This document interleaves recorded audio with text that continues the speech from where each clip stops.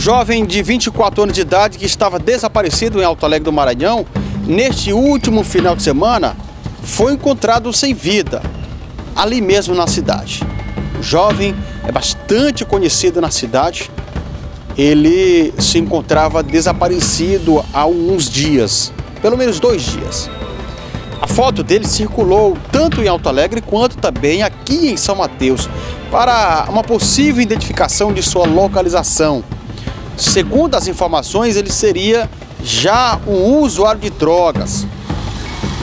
E aí, com o seu desaparecimento, a família é, é, rapidamente confeccionou ali uma imagem e, e disse: Olha, está desaparecido, me ajudem. E foi assim que a população de Alto Alegre e também aqui da região de São Mateus compartilhou para poder possivelmente encontrar o paradeiro desse rapaz.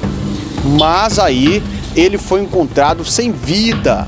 Essas são as informações. Bem no centro mesmo de Alto Alegre do Maranhão, é a informação que nós temos do Mateus, de 24 anos de idade. Ele, também segundo as informações, seria filho de um rapaz que também foi morto no ano passado. Foi morto na saída de uma festa em Alto Alegre. Também muito conhecido. E agora chegou aí esse, essa triste notícia, né? Do, do achado de cadáver do Mateus, de 24 anos de idade, no centro de Alto Alegre do Maranhão.